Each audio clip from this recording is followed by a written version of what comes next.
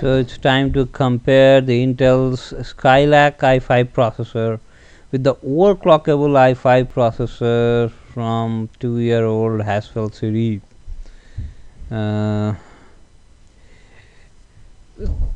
many of the things are similar in these two processors. The one thing we would like to tell is about uh, the DMI 3 versus DMI 2 at the system bus that connects the processor with the chipset and basically that will define how what's the fastest speed the processor can communicate on the PCI Express and so on and so forth. If, there are multiple PCI Expresses, what could be their aggregate bandwidth?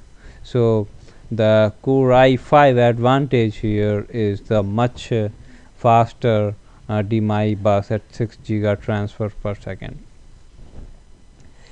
of course the latest uh, lithography technology we have 14 nanometer and that what brings down the power consumption rated at 65 watts for this Skylake in this case.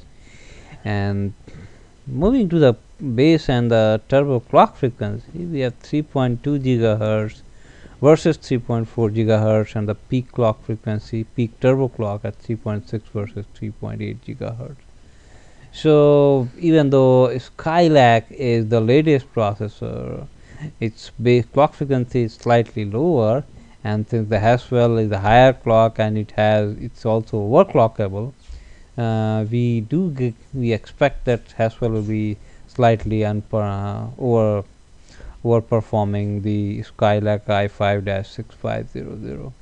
Now let's take a look at the pass mark score. We have i5-6500 at 7122 versus Haswell i5-4670K at much higher at 7638 and that's partly because most of the users have uploaded their scores in overclocked uh, mode.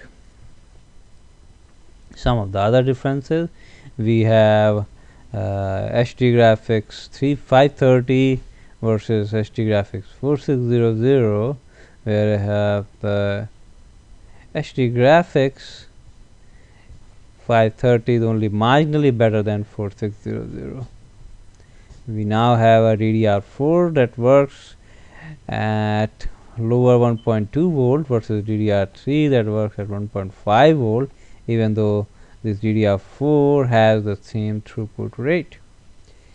I hope that helps you. Thanks for taking a look.